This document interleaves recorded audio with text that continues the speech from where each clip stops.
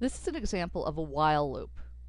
I have two initial variables, the line width, which is going to determine the width of the line appearing on the screen, and my y, which will determine at what y level or how far down the screen the lines will be drawn. The screen is 400 by 400 pixels. I've set the stroke weight of my lines to 3.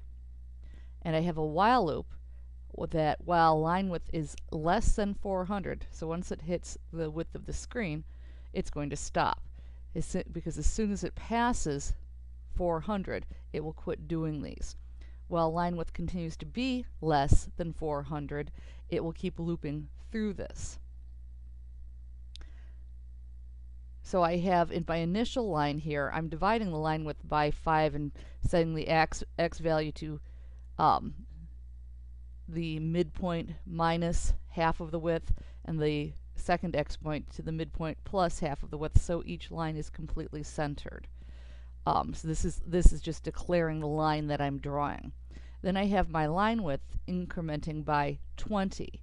This is essential because if I don't have the line width increase, it will never hit 400 and would stay in an infinite loop. So if I were to take that out, this will keep having the y value increase by 10, but it will never change the width of the line and it will never trigger the while loop to start.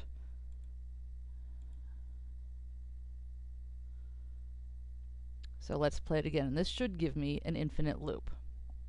It may break the processing program. It may not run it because there's an infinite loop.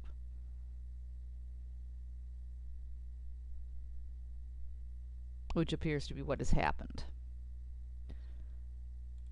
So if you don't trigger the change in the variable that's going to have that's going to trigger this to stop, if line width doesn't change, it's not going to ever hit 400, so it will never stop. And it often in processing, an infinite loop like that just won't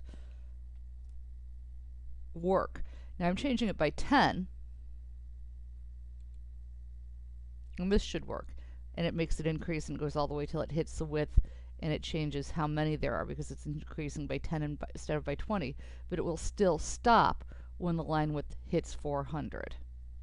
So we could play with this at any sort of variable point and get a different result. But if you don't have this line, then it will never end. And that will break the processing program so it won't even run. So that's the most important thing when you are working with loops is you have to have some way to stop the loop. Because the only thing that's ever really going to be an infinite loop that would be appropriate would be something like a running clock or a calendar where you just keep incrementing it. And you can still change those. There are ways to break into those loops to change for daylight saving time, savings time. But typically anything that you're going to do in processing, you need to make sure to in some way increment the variable that's going to tell your loop to stop. Otherwise, if it just doesn't run, you've probably inadvertently created a an um, infinite loop.